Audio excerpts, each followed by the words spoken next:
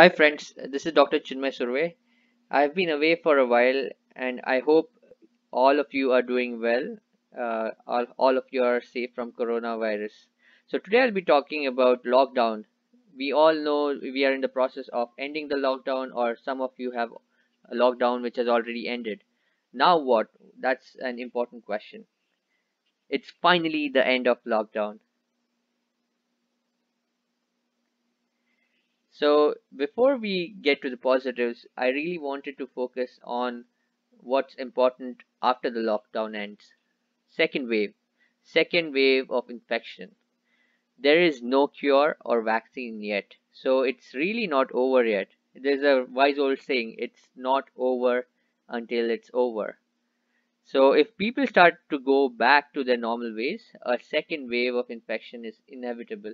And history teaches us from the Spanish flu teaches us that the second wave of infection were more severe and deadlier than the first wave because people were tired of the lockdown and they partied like it was there was no tomorrow.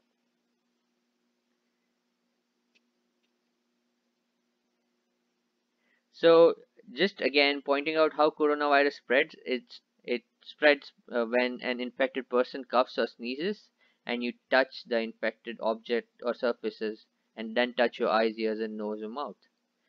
To prevent a second wave and to help protect yourself, your friends, and family, there are two important things I would like to mention we should take care when we go back to work or go back to our normal life.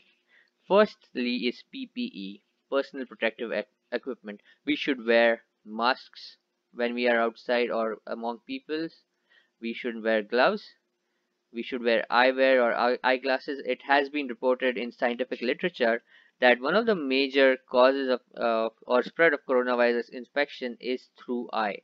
So when a person sneezes or coughs and that droplet goes into your eye, that's one of the most important pathway of how this virus infects an, an uninfected person. So eyewear or glass is very important to wear. Earplugs and headphones, another pathway of how infection can spread is through the drop droplets of infective virus entering your ears. So wearing a earplug or headphone is a good solution for that. The second important lockdown end tip is avoid public gatherings. Avoid parties, avoid vacations uh, where there are a lot of people. Avoid crowded bars, crowded restaurants, crowded department stores, and if possible avoid public transit. If the public transit you are taking on that day is crowded you can always take the next one.